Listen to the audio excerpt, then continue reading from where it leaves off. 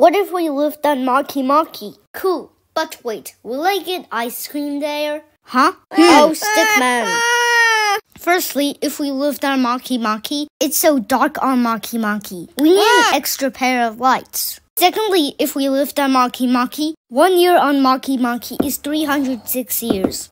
We will never celebrate our birthdays. Thirdly, if we lived on Maki Maki, it's cold here. We may see Hey. people snoozing. Fourthly, if we lived on Maki Maki, MK2, the moon of Makemake, might report other humans to go to Makemake. Fifthly, if we lived on Makemake, it's in the Kuiper Belt. Our homes may get destroyed. Sixthly, if we lived on Makemake, ice creams won't melt. Seventhly, if we lived on Makemake, hot fans will be extremely expensive. Eighthly, if we lived on Makemake, we won't be able to sing. Ninthly, if we lived on Makemake, Mars will be jealous because of the reddish color. Tenthly, if we lived on Makemake, we need to live in squashed neighborhoods because of its small radius. Eleventhly, if we lived on Makemake, there'll be no water. Lastly, if we lived on Makemake, sunscreen will not be popular